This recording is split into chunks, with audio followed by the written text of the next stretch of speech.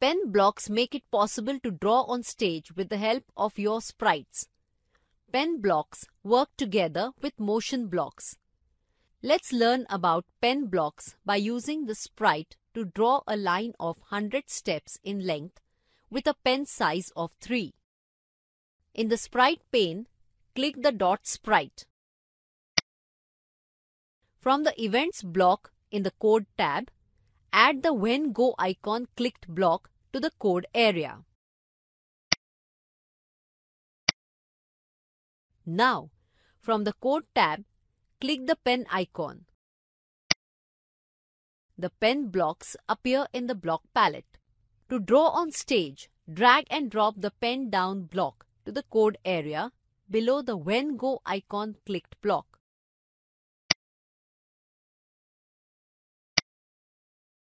To increase the thickness of the drawing pen on stage, drag and drop the set pen size to 1 block to the code area below the pen down block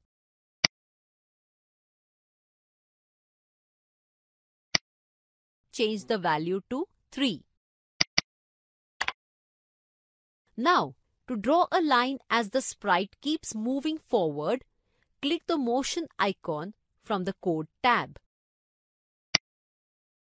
Drag and drop the move 10 steps block to the code area below the set pen size to 3 block. Change the value to 100. To see the preview, click the Go icon above the stage area. The sprite will move 100 steps forward while drawing a line behind it.